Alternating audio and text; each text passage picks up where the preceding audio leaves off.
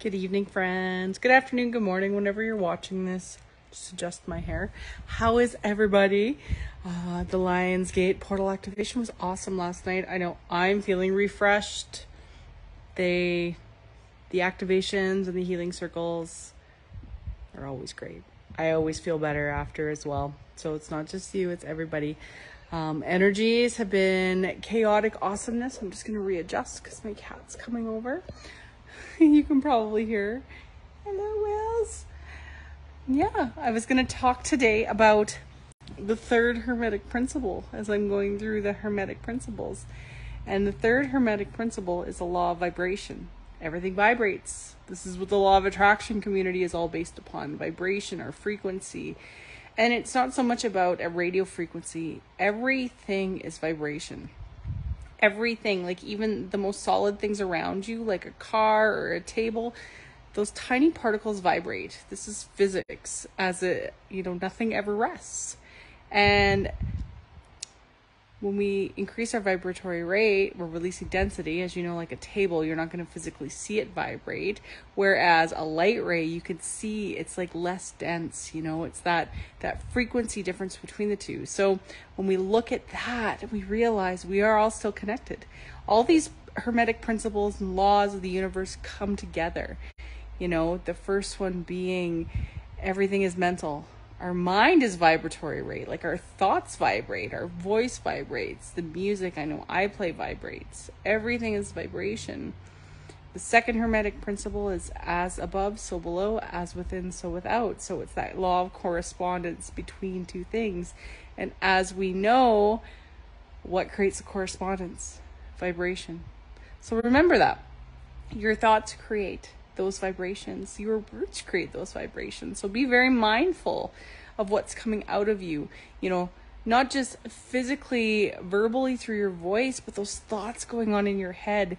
I spoke in the activation last night about opening our hearts up. It is so imperative to have heart mind coherence and pairing the heart and the third eye, the mind, the imagination, whatever you want to call it because with that we lead through love and compassion and non-judgment.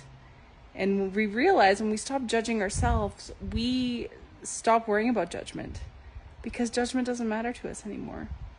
And when we don't resonate in a vibratory rate of judgment we emanate more light we emanate more compassion unconditional love our heart chakra opens up vibrates higher and we create a larger torus field which is our magnetic pull it's all science. It's all science, folks. It's very pragmatic if you really look at it from a scientific perspective. The laws, the Hermetic principles are very scientifically based in a quantum physics kind of way, and I love them. They were one of the first principles that I learned when I was studying and learning the laws of the universe. I really enjoyed them. That and the Tao Te Ching. That's an amazing book too by Lao Tzu. Just amazing ancient wisdom, you know, that was around before the times of Christ and Christ consciousness. You know, Christ consciousness is a vibratory rate, it's an awareness that everything just is, and no judgment is needed. And that's what I wanted to share. I sort of went off on a tangent there, but that's my take on the third Hermetic principle, the law of vibration. All coming back to the law of one. You know, every droplet of water in an ocean vibrates. And one alone doesn't do much. But when you have that whole ocean moving together, you have an enormous amount of energy happening. So remember that. One tiny thought is all you need. That one droplet, that one seed planted, and feed it and allow it to grow and become more and more in tune with your vibratory rate. Understand that you are the only creator in your universe and you are amazing. You don't need anybody to tell you what to do.